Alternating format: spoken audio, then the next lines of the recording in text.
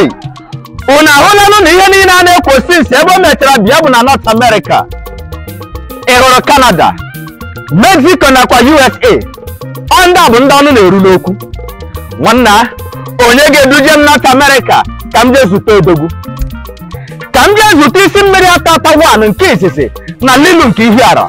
Inweta nnọọ meseji a tụsaa ya. Nwanna soro m ka anyị jee zute odogwu na anyị batara anya na-agba aka ana. Ana m ekwu maka his royal high chief. Olika agụ isi mmiri atata wan odogwu na north america. Bambigi wan na europe. Ọ na orube mgbe ị ga-atụsara m meseji a na ofu ntụsa nwere ihe na-eso ya. Biko tata bụ 13th October. E declare go public holiday na North America Mexico Canada nakwa USA maka nnekwute celebration odogwu.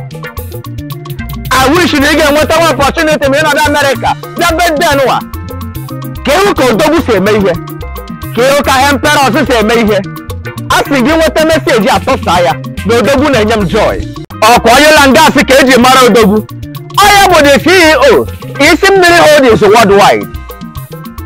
Kedu ụdị moto ahụ ị chọrọ ịzụ na Amerịka ndị ọgbara ọhụrụ kọnka dịba adị kọnka ka ga-apụta apụta odogwu zikwara ka eme isi mmiri holdings ọ ihe eji mara ha. Ụdị moto ọbụla ma trọk o ụdị na ụdị ọbụla. Kpọtụrụ ha ha ga-deliver on time with affordable price. The CEO isi mmiri holdings. Isi mmiri ata ata nke izizi na lilu nke nnewi. Biko kenere m ụmụ gị ọma. Prince chukwuebuka olikaagụ princess chisom olikaagụ nakwazi prince bụ nke nta.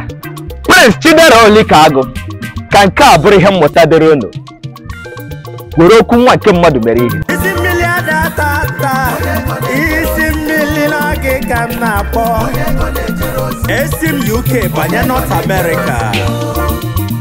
Ka jee kene odogwu. High chief royal prince divine raymond olikaagụ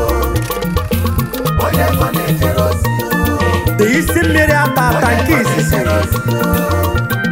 Na lilo ihi ala ezigbo nwa anambra.